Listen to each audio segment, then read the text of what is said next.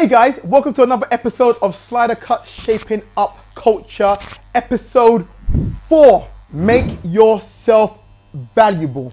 That's the title of this episode. What does that mean? Make yourself valuable. In everything you do in life, make yourself valuable, especially when it comes to business. Where this title came from was I had a conversation with somebody who I know who was in a job. They felt unstable in their job. They weren't sure if their boss was going to keep them or not. They just weren't sure, so they weren't actually one working to the best of their ability because they were like, I'm not sure if they're even going to keep me on. You know, they might sack me, you know, this and that. But the reason why they potentially were going to get sacked was because of their work ethic and their work, um, their working. What was happening then was you were going to not work as hard because you weren't sure if they wanted to keep you. They ended up parting ways. We're going to say that, you know. But I remember I gave this person the advice. I said to this person, what you need to do is not worry about what they want to do and just make yourself valuable. If you make yourself valuable, especially when it comes to business, you make yourself an asset. Even if someone needs to cut you because of budget cuts and stuff like that, you become the person they don't want to let go of because you have made yourself an asset, something of value to the business. As example, if you are a cleaner and you clean offices and stuff like that, you are valuable because you add to the psyche of the people who work there. Nobody wants to come to work to a dirty environment. When you come to work and it's really clean and stuff like that, that makes you feel more comfortable to work there and you can work more efficiently and so on. If you clean the place to make it spotless, you are making yourself valuable because when they start talking about we need to make some cuts and they're like, okay, let's cut the cleaner. You think they then think, ah, oh, but do we want to come here? You know how clean they make the place, this and that make yourself valuable. Make yourself that person that if they have to let go of you, they know it's going to leave a hole in their business. Don't just do the things you're supposed to do, which might be okay, you know what, I'm paid to, you know, do the books. Do above and beyond. Like make yourself an asset because those people in, a, in life are the people which you don't want to get rid of. We need to stop looking at other people and looking at them and saying, you know what, should I work my best? Oh, do you know what? They might even keep me. Do they deserve all of these things there?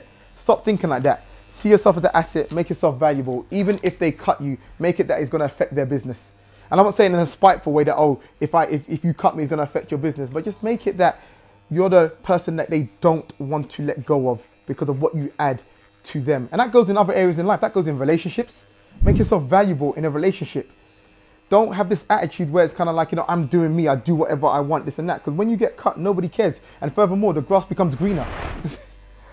so if you're working a job, as example, and you're having this attitude of, I don't care, Don't, I don't like these people anyway, this, I'm going to do what I want. You know what? They're not giving me clarity, so I'm not going to do my work and stuff like that. When you get cut, what is going to happen is they're going to find someone else who actually does the job a lot better and be happy that they've cut you. And what I'm trying to say is make it the opposite way. Make it that if they cut you, they actually probably want to call you back because they realize how important you were or are to the business. Make yourself an asset, not a liability. In everything you do, understand that you are representing yourself. So you should always represent yourself to the best of your ability. Do not watch the job you're doing, whether it's small or big. Do it to the best of your ability. Make sure that people have good things to say about your work ethic and the things that you do. You don't want your name going around of that person's lazy. That person is rude. That person doesn't do anything. That person cuts corners. In everything you do to, to the best of your ability. Is the thing I always say.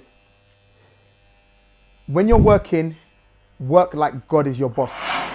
Because if you work like God is your boss, then you understand that God is everywhere. If your boss was in front of you, as example, when you were working, if you're working and your boss is in front of you working, he or she would probably always get the best out of you because you're always on watch. See it as God is your boss and you're always on watch.